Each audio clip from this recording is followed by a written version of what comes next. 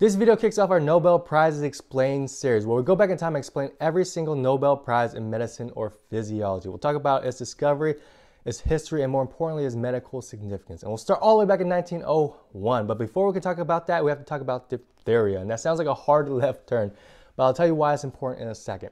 Now, diphtheria is an infectious disease caused by the bacteria Corynebacterium diphtheriae. Symptoms start off kind of mild, like a common cold. You get a fever, you get a cough, you get a sore throat. But as that disease progresses, you get this kind of iconic gray lining in the back of your mouth and your throat, your, your larynx and your pharynx. And that's what we medical professionals look out for. We call it a gray pseudomembrane. Why do we call it a gray pseudomembrane? A little, a little fun fact for you. A membrane is a thin lining of cells. This isn't a thin lining of cells. It's actually a thin lining of waste product and protein. So we can't call it a membrane. We call it pseudomembrane. A little trivia fact. As that progresses, you can get swelling of the throat, you can get airway obstruction. That's not good.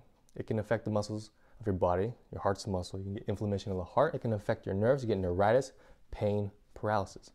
And most of the damage caused by diphtheria is caused by the toxin it excretes called diphtheria toxin. What a fitting name. It can spread very quickly through direct contact or through the air. and in the 1900s, it affected up to a million people, caused the deaths of tens of thousands. The mortality rate was somewhere between 5 and 20 percent. However, after the introduction of the vaccine and its widespread use, we had essentially eliminated it in the developed world. In 2004 to 2011, zero, goose egg, zero cases were found in the United States. Worldwide, less than 5,000. Now, there's been a recent uptick of vaccine preventable diseases, but for the most part, during that time, we had eliminated it in the United States. Who was responsible for such a drastic turnaround of basically diphtheria deaths? Enter Emil Behring. Emil Behring was a German Prussian doctor born in 1854. One of 13 kids. His parents couldn't afford his education probably because there were 13 kids. So he joined the Army Medical College of Berlin. That allowed him to get his medical degree, but it also required him to serve in the military, which he did.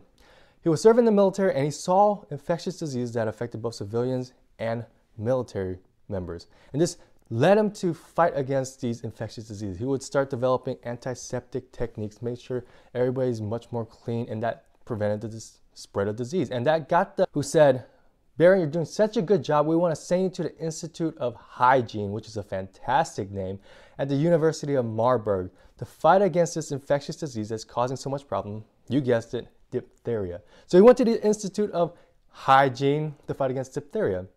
And at that time, it was already known that diphtheria toxin was what caused the problem. Because if you took a bunch of diphtheria bacteria and you filtered out all the bacteria, what was left of toxins still caused a lot of damage if you injected an animal. So the fact that diphtheria causes damage through toxins was already known at the time. But it gave Behring kind of a eureka light bulb moment. He thought, well, if you inject bacteria into people or animals, they develop an immune response, antibodies against that bacteria.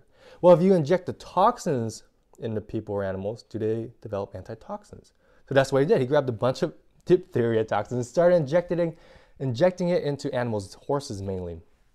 And sure enough, they developed antitoxins. And when he took those antitoxins and re-injected them, he found out that it not only cured diphtheria, but it would immunize horses and prevent diphtheria. So he essentially invented a cure and an immunization to diphtheria. He would publish his work in 1890, shortly after they started making diphtheria vaccines, and the rest is history. And for his work in developing the diphtheria vaccine, he was awarded the first Nobel Prize ever in 1901. That's the story of diphtheria, diphtheria vaccine. Now, question to the audience. Recently, there's been an anti-vaccination movement. What do you think has caused this? What do you think is behind this?